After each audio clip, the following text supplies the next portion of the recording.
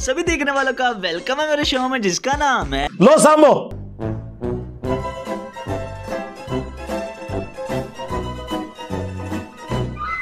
अबू बकर शिबली रहमतुल्लाह ले सूफी बुज़ुर्ग थे एक नौजवान आ गया। कहने लगा हुजूर मैं आपकी बेटी पे आशक हो गया हूँ। तेरा क्या बनेगा कालिया और मैं डायरेक्ट उसकी तरफ नहीं गया मैंने उसको कोई वसवसा दे के अपने साथ उसको एडजस्ट करने की कोशिश नहीं ਮੈਂ ਤੁਹਾਡੇ ਤੋਂ ਜ਼ਿਆਦਾ ਹੁਸ਼ਿਆਰ ਹਾਂ ਮੈਨੂੰ ਪਤਾ ਹੈ ਤੁਸੀਂ ਕੀ ਕੰਮ ਪਾਣਾ ਸੀ की मैं इखलाकियात के दायरे में रहकर रिश्ता लेने आया हूँ फरमाया तुझे मेरी बेटी की कौन सी चीज अच्छी लगी अबे साले माफ करना गुस्से में इधर उधर निकल जाता हूँ बल वापस आ गए नौजवान कहने लगा खूबसूरत बड़ी है अब आए ना लाइन पे। आपने फरमाया ठीक है तो एक महीने के बाद आना मैं तेरा रिश्ता कर दूँगा।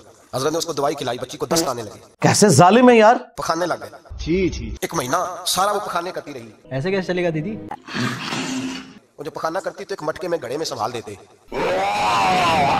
महीने के बाद वो नौजवान आया उसने देखा कि उसकी आँखों के नीचे स्याहियाँ पड़ गई हैं। रंग बदल गया है कमज़ोर हो गई है हाथ कांपते हड्डियों का गट्ठा बन के लगी हुई है। फरमाया आजा मैं तैयार हूँ। पर्दा हटाया कि मेरी बेटी की शादी करने लगा मैंने तो नहीं इससे शादी करनी।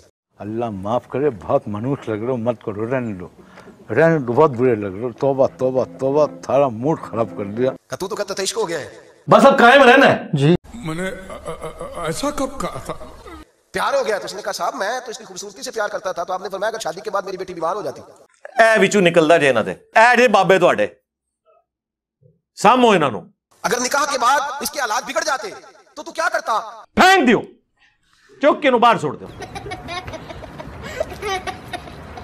आपने फरमाया इधर आ मैं तुझे बताऊँ तुझे प्यार किस चीज़ के साथ था? उसका बाजू पकड़ा और गंद वाले मटके पे ले गए फरमाया तू इस गंद से प्यार करता ये तो टट्टी है।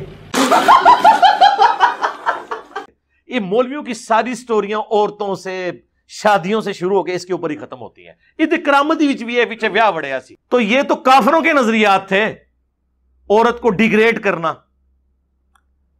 इस्लाम ने तो औरत को डिग्रेड नहीं किया इज़्ज़त दी है।